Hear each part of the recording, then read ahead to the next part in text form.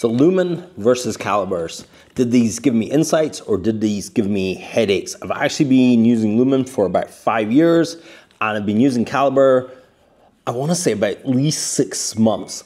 Calibre is a device I've always wanted since ever I found out about RER and respiratory exchange ratio and this ability to capture carbon, which is the amount of calories. So the first thing we should drop is a little bit of science knowledge. So when we eat food, it goes into our digestive system. Our digestive system breaks that food down into its components, protein, fats, and carbs, and more specifically, amino acids, fatty acids, and glucose. There are other saccharides and monosaccharides like sucrose, um, glucose, maltose, fructose, etc. But glucose is the main fuel for muscle cells. The other ones kind of go to your liver. Long story short. Anyway, so the protein, fats, and carbs, or the amino acids, fatty acids, go into your cell, more specifically into the mitochondria, and it produces a thing called ATP, which is the energy currency of the body, blah, blah, blah, blah.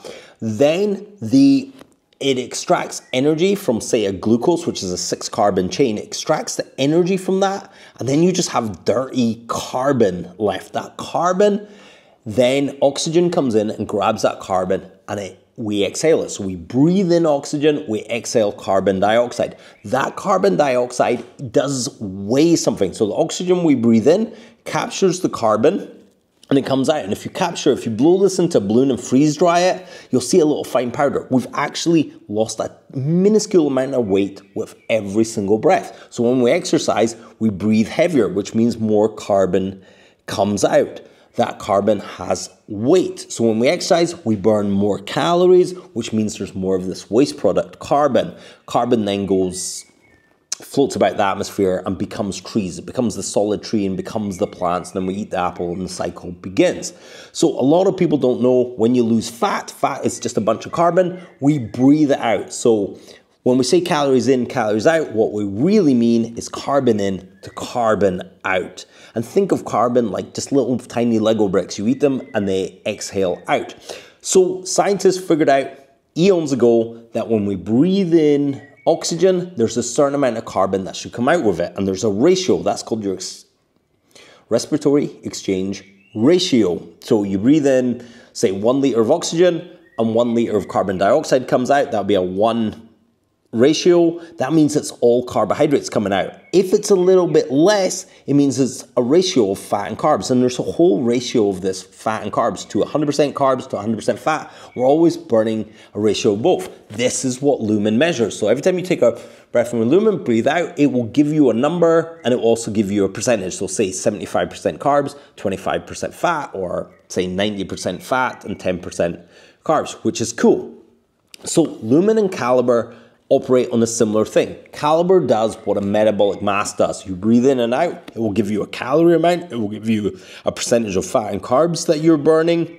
So, in essence, Lumen is like a camera, it gives you a snapshot, and Calibre is like a camcorder. Now, I can't state this enough. This device is literally a miracle. So this should be a five thousand pound minimum. Is its cheapest competitor? Is is Calibre's cheapest competitor? If not, you're looking at ten grand for a university grade. And this one has been tested third party against other masks, and it's actually come out on top. And you're less than $500. I think I saw it for like $300, $400 on the website recently. I've also got a discount code for this, also have a discount code for Lumen, but that's beside the point.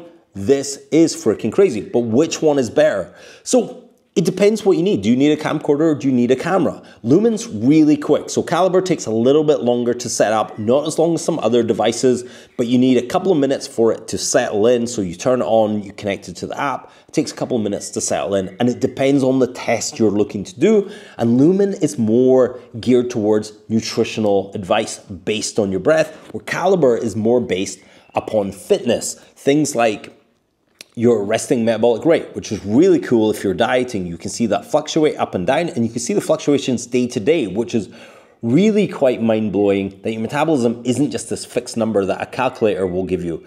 It's dynamic depending on how well you slept, depending on how well you ate, depending on how much you've dieted.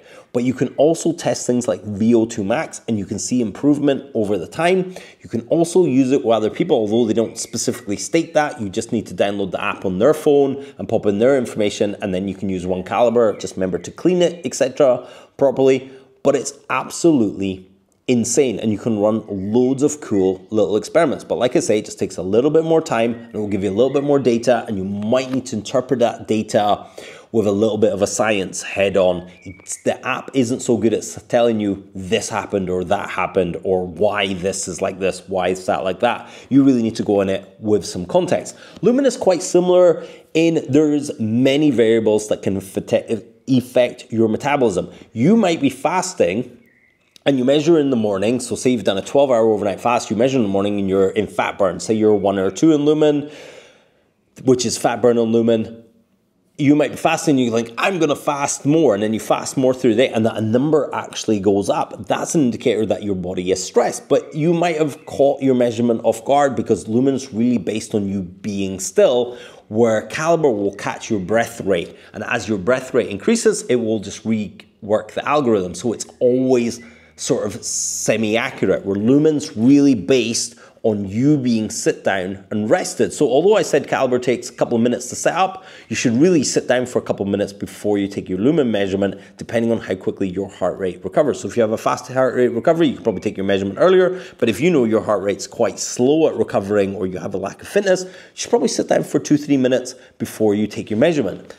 And there really isn't um, good or bad. It's really about context for both of these devices. And it's really about what you're wanting out of it.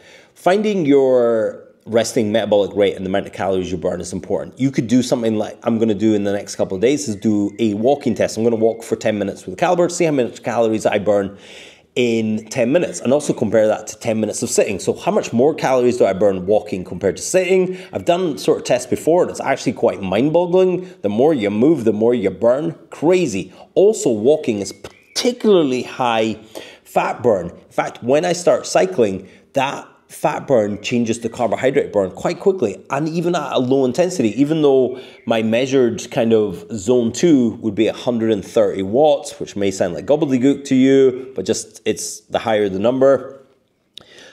On calibre it's showing around about 90 watts but when i'm walking i'm walking probably at more wattage than that or more output than that or a higher calorie burn than that but it's still keeping a relatively high fat burn. So that's really interesting with calibre. And also really interesting if you're into steps and walking. That's really cool. Lumen will show you, I've got loads of videos on Lumen, but things like cooling down after workout will get you back into fat burn. Really important. Lumen is really good at being a stress barometer. If you're in carb burn, that's the fuel for fight or flight.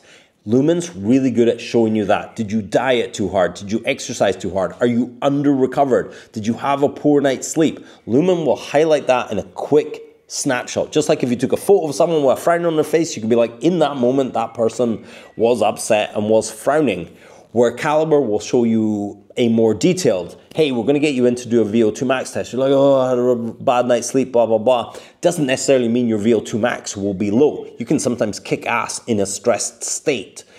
So Calibre's awesome for high level fitness stuff. Lumen can be really eye opening on your stress and your metabolism. If you use both of these right, they are both absolutely incredible tools that exist now, which is just wild. Anyway, I don't want to make this video much longer. I wanted to make this video way more exciting than it is, but I'm short on time. So guys, I will check you in the next one. And if you have any questions, drop them below. I'll be delighted to answer them and I'll see you soon.